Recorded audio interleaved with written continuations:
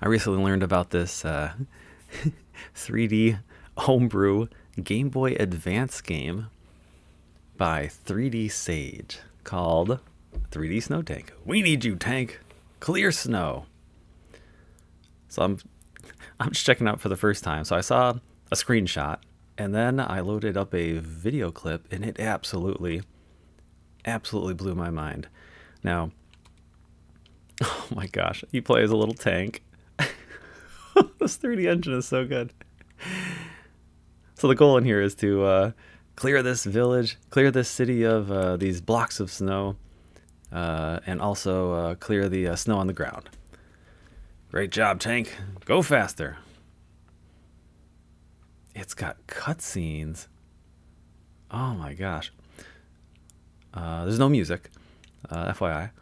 No sound effects that I could tell. Yeah. And it's just uh, drive around with the controls and uh, B button to shoot.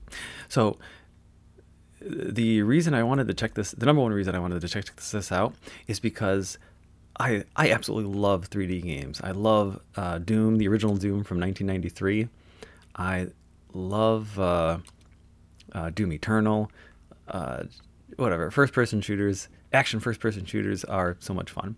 The and I wish there was some good ones for the Game Boy. Uh, not even action first-person shooters. I just love the idea of first-person games. Uh, but the problem is the original Game Boy. Well, I mean, there's a few problems.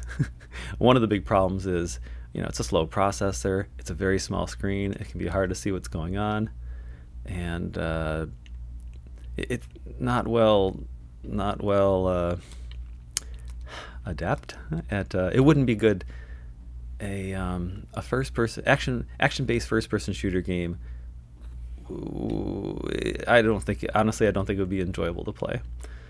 Um, and so uh, I'd love to think of an idea that uh, you know a 3D game or first person game that would be better suited for the system like something like the original Game Boy.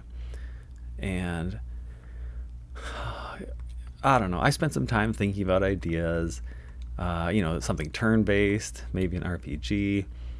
Uh, I love the idea of Faceball, Faceball 2000 for the original Game Boy. So you know, because there's nice, nice, simple characters, big round, uh, smiley faces floating around that you need to uh, need to destroy. And uh, oh my gosh, there's a lot of snow here.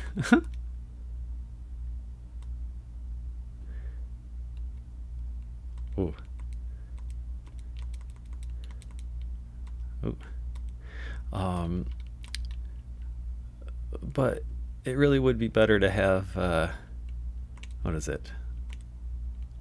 Mm, I don't think it's a really good, uh, oh, I lost. All right. How do I put this? I want something like a, a, a theme that really fits. So it should be uh, the player can go at their own pace. Uh, any obstacles.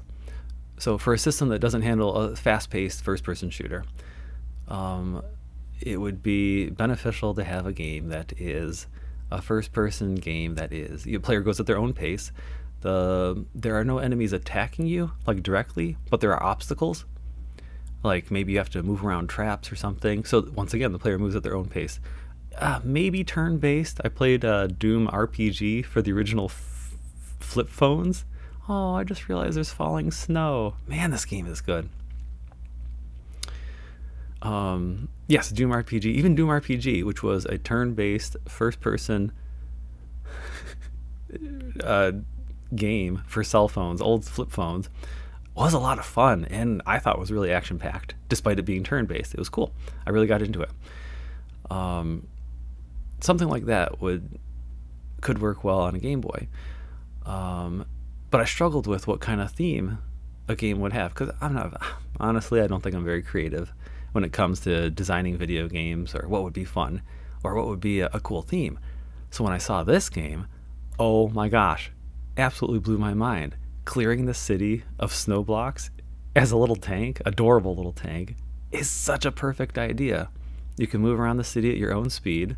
I just imagine if there were like trucks uh, driving back and forth, and you got to dodge them. If you accidentally run into a truck, you know you lose a life. Game over. Uh, lose a life. Uh, try again. Um, you got to clear the blocks. Uh, oh, what else could there be?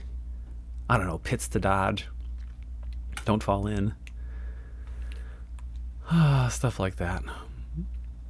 Yeah, so that's why I was so excited to see this. It's such a perfect idea for a a 3D game. It's fun, unique idea. Player can go at their own pace. Uh, in this specific implementation, the, the uh, developer does encourage you to go as fast as possible to get a higher score, which once again is fine. Uh, the player can choose to go fast and get a higher score, or just go at their own pace. Really good.